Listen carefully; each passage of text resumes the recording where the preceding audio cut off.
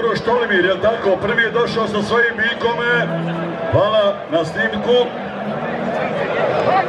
Sa svojim blizanom Zečo, Vijeke, Franković i Mirjane, jel tako? Iz Kiseljaka nam dolazi Mirjana, podigni ruku, pozdravite onu ženu, kraljicu korida, publiko! Ene, i ona vas pozdravlja! Tako je.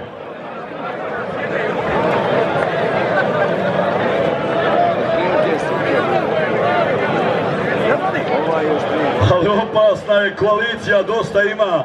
Ali ova Gajići i Drinići, uh, kako naredne godine oni šta spremaju. Može, može, ajmo obostrano, jedan i drugi.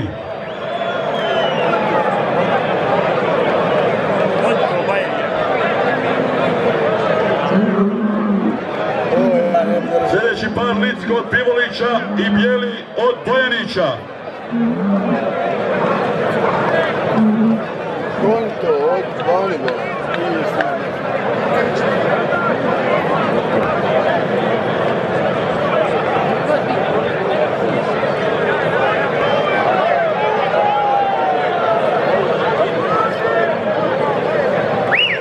Vidio, vidio. Ajde Vijeko, nosi. Neće. Drugi neće, nije ni... Neće u borbu. Mi idemo sa sljedećim parom, Licko od Pivolića i Bijeli od.